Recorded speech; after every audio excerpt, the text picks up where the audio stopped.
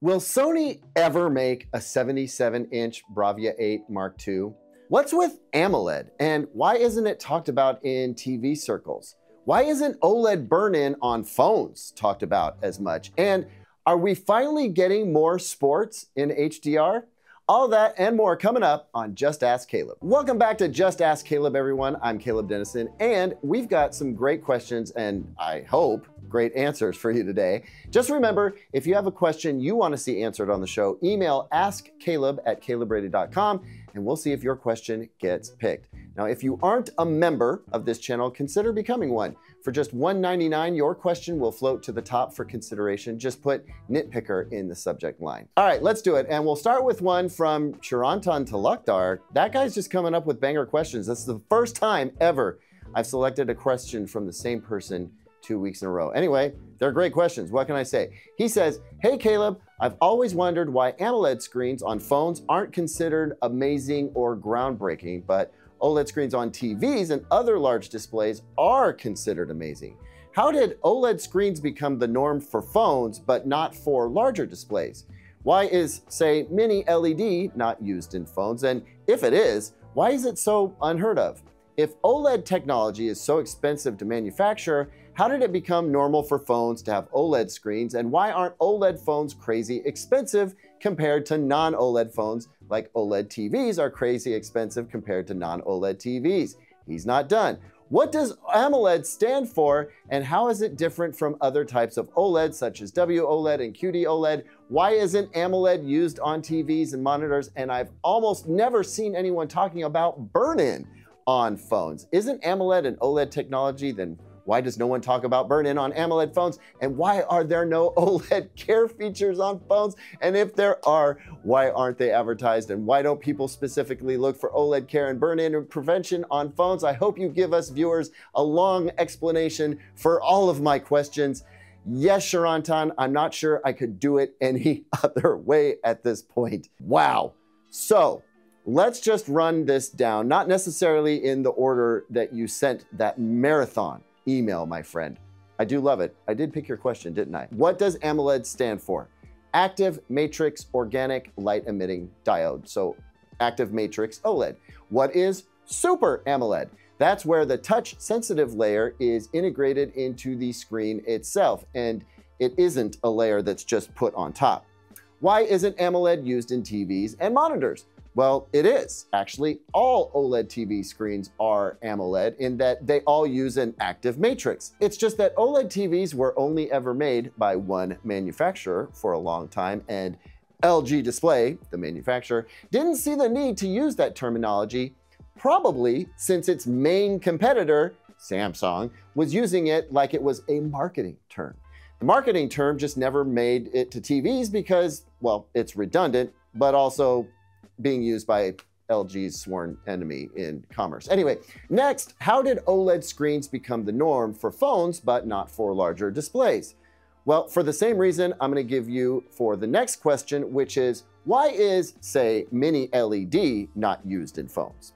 Well, that's because LCD screens require a backlight, and backlight systems, even mini LEDs, take up a lot of space. And phones don't just need to be thin to look and feel awesome, they need to be thin as a practical matter. It's hard to sell a thick phone, uh, save perhaps to the tough and rugged audience.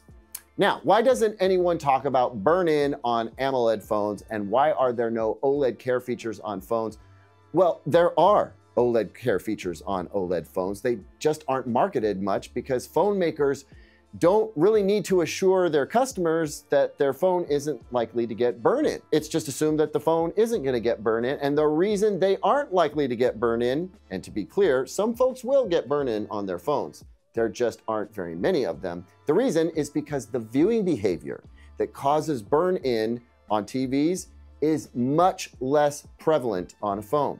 Very few people leave their phone playing CNN or Fox News for five plus hours a day battery's probably going to run out before that happens anyway.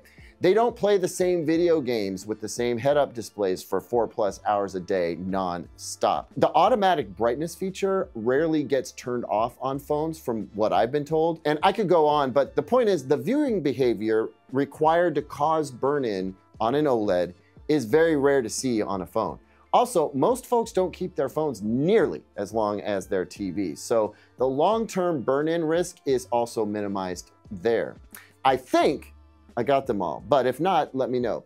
Oh, you know what? There was one more, but I'm gonna make it part of the next question. So Chirantan also asked, why aren't OLED phones crazy expensive compared to non-OLED phones? Like OLED TVs are crazy expensive compared to non-OLED TVs. And another viewer, okay, like more like 200 other viewers asked, are we ever getting a 77 inch Sony Bravia 8 Mark II? Now, what could those two questions possibly have to do with each other? Well, possibly nothing. But I have a suspicion nobody will confirm. Uh, I just can't let go of it. And actually, you know what? That sounds like a conspiracy. So let's call it a theory. Right, a theory. Here's the deal OLED TV devices are cut out of a large sheet of something called mother glass. That mother glass will get masked off, and then through a process called photolithography, the OLED pixels will be printed on this mother glass. That's how you can have different pixel densities and different pixel per inch measurements from a single piece of mother glass. Now, purely for the sake of illustration, let's say you can either make 24 phones or 12 phones and two monitors and one 55 inch TV, or you can make just two 65 inch TVs or just one 77 inch TV. Now, I actually think it's more like one 77 inch TV and a handful of phones. The purpose is you got one big piece of glass, you can only cut it so many different ways, and if you make a 77 inch TV out of that big old piece of glass, you're not getting much more out of that piece of glass. Now, think about the money you could make by selling 24 phones. Let's say uh, $24,000. The phones cost 1000 bucks. 24,000 bucks out of 24 phones. You can do 12 phones and a 55-inch TV for 13,300. You can do two 65-inch TVs for about 3,200, getting pretty low. And you can do one 77-inch TV for about 2,500 bucks. That's a delta of about $21,500 between doing 24 phones or doing one 77 inch TV. That 77 inch TV represents a pretty big loss in potential profit. Now, all that math tells us a few things. It's way cheaper to make OLED phone screens, thus, the phones aren't outrageously expensive. It's marginally more expensive to make OLED monitors, which does absolutely nothing to explain why OLED computer monitors are outrageously expensive, um, as much as TVs sometimes, when there isn't even processing in them. Maybe just a fancy case and some RGB. Why are they so expensive? Also, why OLED TVs are indeed expensive. Also, also, it tells us that the 77 inch OLED panel is among the most expensive OLED panels you can make. It also explains why 83 inch OLED panels are incredibly expensive, and anything larger than that is going to be like as expensive as a car. Now, if any of you are scrutinizing the actual numbers and math in my explanation, then just stop it right now.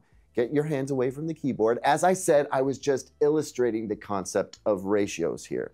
Anyway, given that 77 inch QD OLED panels are precious, I've long suspected that maybe maybe Samsung Display might want to keep most of them for Samsung Electronics, or that they may be so expensive that Sony doesn't want to bother buying them.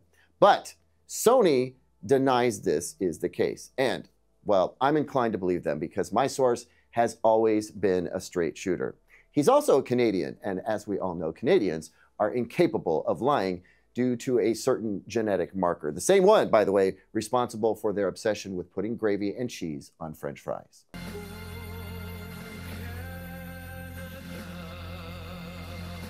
But I digress. Sony says that the reason we don't see a 77 inch Bravia 8 Mark II is that the A95L is killing it at 77 inches. And in addition to having an if it ain't broke, don't fix it attitude, Sony says the professional world is heavily invested in the 77 inch A95L and doesn't want to have to go and replace a bunch of them. If one dies, they can just buy a new A95L. Everything matches up perfectly.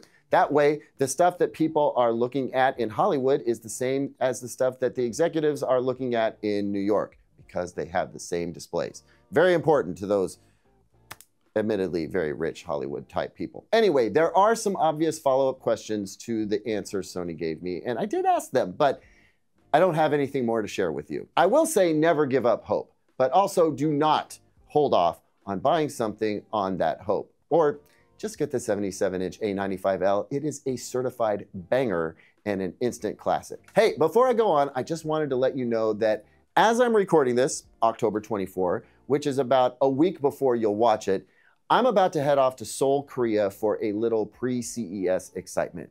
When I get back, I'm on the ground for like a day before taking a trip down to Atlanta. That means I won't be shooting for about 12 days. Fortunately, Zeke and I have been grinding to fill up our video vault with content that we can run during my time away. Unfortunately, that means I won't get to record the next big TV review for a bit. But back to fortunately, we have the QM8K versus U8QG coming to you. You don't want to miss it. That, along with a bunch of super fun content, I think that you'll enjoy. In the meantime, if you aren't already subscribed to my personal channel, Caleb Loves Tech, consider subscribing there as well because I'm going to be putting out vlogs and updates while I travel, in case you feel like following along. Anyway, I wanted to say thank you.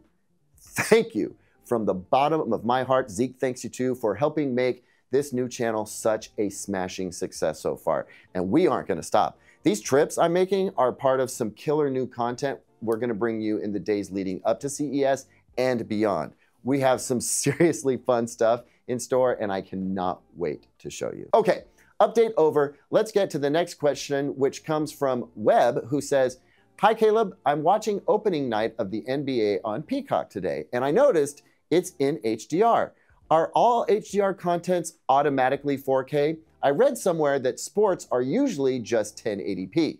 Webb, that is amazing. I had no idea, and I kind of wish I had caught it. So, first, can we just celebrate that something other than the Super Bowl or the Olympics is going out in HDR? That's awesome. That shows me that NBC, and I also happen to know Fox Sports, a major force in pushing HDR sports, NBC is also making headway. That's awesome. And yes, it may often be in 1080p. It could be in 4K, but the reason why it's often in 1080p, man, I wish I could show you my Super Bowl footage. But I learned this from Fox Sports and uh, one particular gentleman who is contracting for all the networks to get HDR sports out there, all of the broadcast infrastructure is built around 1080p. If they were to do all cameras in 4K, not only would they have to quadruple their cabling, they'd have to cut their camera count down to 25% of what they're using now. So if they had 25 cameras deployed in the stadium, they'd have to cut down to like four or five cameras. They just aren't built for native 4K, these mobile broadcast units. Maybe one day they will be, but we are talking about billions upon billions of dollars of gear and cabling already installed in mobile cities that go from stadium to stadium and field to field to capture live sports and broadcast it to us. And replacing all that stuff isn't going to happen soon, and it really ain't to be cheap. When you do get 4K sports, it is almost always professionally upscaled from 1080p at the broadcast center. The question is whether NBC did 1080p delivery in HDR or upscaled it uh, to 4K. Sounds like they went with 1080p delivery, which I think is fine when you get 1080p and HDR. Uh, the HDR right there makes more of a difference than resolution at all but the hugest screen sizes anyway. But man, I really appreciate you raising the question so that we could talk about it.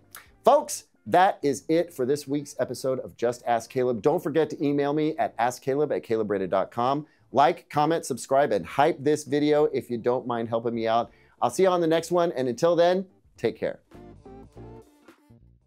Am I ever going to make this video, or am I going to peak the meter every time we start?